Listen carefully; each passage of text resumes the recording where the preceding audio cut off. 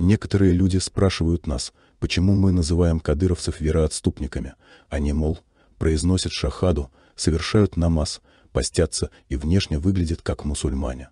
Тем людям, которые задают такие вопросы, покажите это видео. Объясните таким людям, что есть вещи, которые выводят человека из ислама.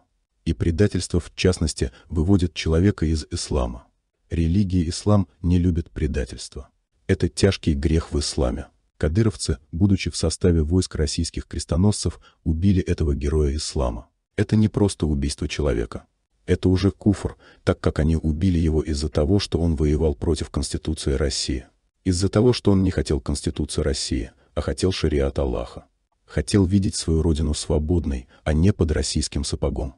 Ведь ради этого воевали многие поколения наших отцов. То есть, кадыровцы ради российского куфра убили мусульманина. Только вдумайтесь в это. Разве есть более тяжкий грех на земле после этого греха?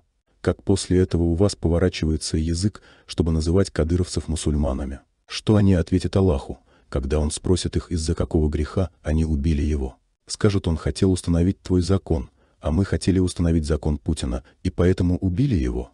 На этом видео, которое, к сожалению, мы не можем показать полностью из-за ограничения в Ютубе, мы видим пленного чеченского маджахеда, который попал к кадыровцам без оружия.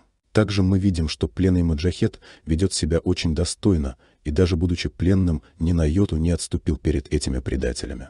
На этом видео видно и слышно, как кадыровцы вначале грязно и омерзительно матерятся, издеваются над исламскими терминами, такими как шариат и хафиз, а потом убивают этого молодого человека.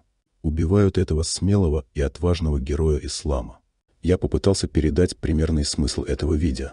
Многие чеченцы видели это видео.